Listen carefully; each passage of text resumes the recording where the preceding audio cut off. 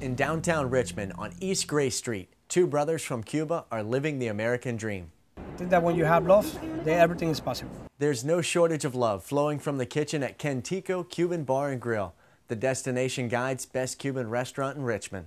Oh, I love it. I'm actually an island native, so it's from a, from the island of Grenada. So a lot of the culture, I love it. Love the food. Kenn-Tico is Kenny and Tico Sanchez, brothers who escaped Cuba in 1993. Tico about six months after his older brother. Both were eventually taken in as foster children by the Leeming family of Richmond. This guy over here was my father for three years. He, he guided us, he tell us the good and the bad, what we can do in this country to be successful, and here we are. Make here. me cry. I wish you would. The Sanchez brothers worked in construction before opening a food cart. They eventually grew their cart business to six before following Kenny's dream of opening a restaurant. They're artists, they're craftsmen. They, uh, they put their heart and soul not only in the menu and the place, but in creating an atmosphere, a family atmosphere. So it's, it's really been great. And that's Kenn-Tico. We got many secrets of the Cuban recipe here that nobody has. That's why the food's so good. Tonight I had the mango wings along with the, the yellow plantains and, and the green plantains. To make a Havana chicken wing, we use the mango sauce. Mango sauce also have red onions, cilantro, orange bitter, uh, lemon juice, and a little spark of wine. The mango right on top. When you eat it, you feel like you are. It's very tropical taste with mango and cilantro.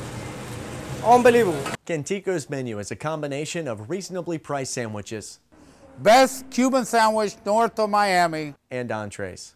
The beefsteak palomilla. It's got beef and it's uh, mashed potatoes all around it and deep fried. I pretty much like anything with the Cuban pork in it. The way they marinate it and the seasonings is just something I've grown up with, so it's very much a childhood favorite of mine. The next morning we put it in the oven. We start at 500 degree, six and a half hours with uh, 350 degree. At the time, this, this baby is going to be ready to eat. In the short time it's been open, Kenn-Tico has become the go-to restaurant for Caribbean natives. This is my house. Kenn-Tico es mi casa. I've been here for 14 years. Let's get this straight. 14 years. And I never met so many Cubans or Puerto Rican until I opened this place. But it's also become a favorite of locals. Native Richmonder. This is something that's a little different, uh, brings some diversity to downtown. So once I found it, fell in love with it. What's not to like about traditional Cuban food, washed down with a menu full of mojitos? We're gonna do one full lime so you get the full effect of the mojito when it comes in. We use the best here. We just got this all today from the farmer's market, fresh in Richmond. You're gonna do about 2.4 ounces of that. It's really just three different ingredients. Then you use your rum, Bacardi Superior, best way to go. 1.5 ounces of that. Throw some ice on top and a lime. And that's all you have to do. That's a Cuban mojito. And like I said, this is my signature, so it's my favorite. So God bless. The food, the, the, the, well, the plantains are absolutely phenomenal. The, the mojitos, excellent. Um, uh, and, the, and the pulled pork, can't go wrong. Kenn-Tico uh, is a, a dream come true for my husband for many, many years. I'm real proud of them for my wife and I and all the whole family's proud of what they've done.